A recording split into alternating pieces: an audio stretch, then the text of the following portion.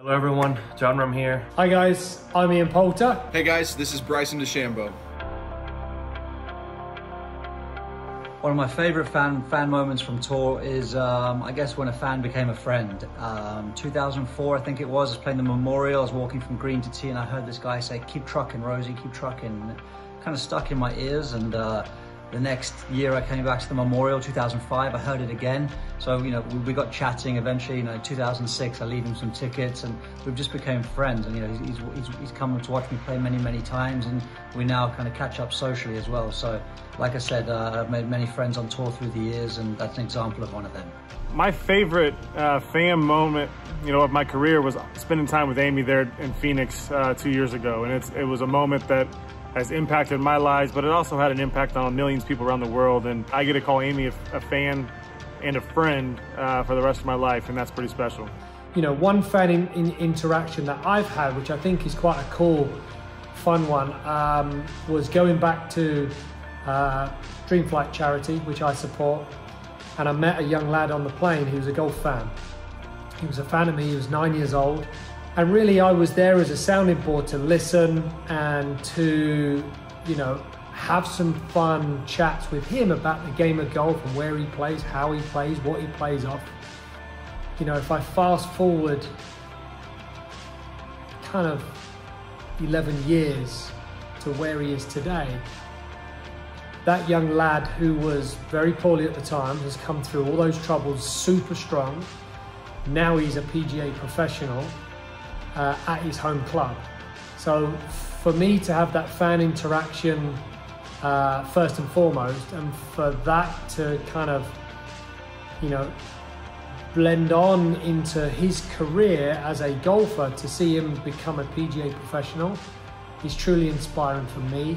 Fortunately for me, I've had uh, I've had a, a, good amount of, of great wins, but uh, I would say probably Players Championship 2019 uh, when uh, Ricardo proposed to Emma on, on the 17th green, and I was uh, I was fortunate fortunate enough to be a part of that. Uh, that was that was a very very cool moment, and uh, it's something that made me feel uh, extremely proud that I was I was you know I was a part of that. This past year when I won, and there was this kid who had Down syndrome who was as genuinely happy for me as anybody will ever be it, it was great to see, you know, I was impacting somebody's happiness the way that was impacted by other athletes, you know, by people that are still on tour, by watching Tiger and Phil, and even closer to my age, but even watching, you know, people like like Rory and Rickie on TV when I was still in college. It was uh, it's quite unique. So it was it was great to share that with him. I think my favorite fan interaction moments are, are, are, the, the simple ones, the little gestures of walking off of a green and finding a kid to give your golf ball to. Uh,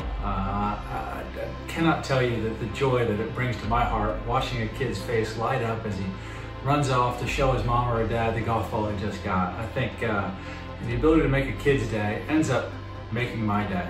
It's my favorite being able to give something away that I used that day um, it really makes them excited and, and, and, thrilled about being there and being a part of uh, the PGA Tour scene. Everything that you guys do in terms of bringing us energy, bringing us good vibes, cheering us on, uh, hearing the roars, high fives between holes. Uh, myself and all of us players, we miss all of that and can't wait to get back to doing it again.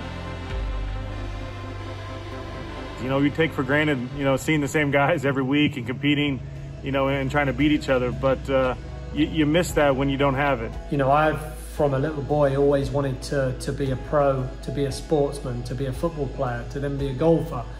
And it's the buzz and excitement you get of competing to try and win. It's that that it's that level of testing yourself. And it's just really what we practice for day in, day out. Just the everyday grind, you know, it, it's something that we all love. It's, it's, it's why we play. It's, it's what we've grown up wanting to do. And it's something that I miss dearly. I miss the energy um, of you guys that are out on tour and also the color and uh, the distraction almost. You know, there's a lot going on out on the golf course when you guys are all there, when there's hundreds, you know, thousands and thousands of people. And you, know, you guys really force us to focus harder and to, to really tunnel in and to bring the best of ourselves. So that's what I miss. It's really exciting to compete and entertain you as much as possible. You know, it's always great to see the reactions when we're playing good and support And it's even greater when you know things are not going well and we hear the support and the cheers coming towards us. When you get out there, there's such a great buzz, so much energy out there, and it's due to the fans. The atmosphere you guys bring every week is amazing. Um, it gets us excited to get there, especially on those early morning tee times. Um, you guys are there, ready to rock and roll. It's special, and we have the best fans in the world. We miss you all, and uh, I hope everybody stays with a positive mindset and gets this thing over with as soon as possible. Just wish you all well. I hope that you're all staying safe and staying at home, and this will pass.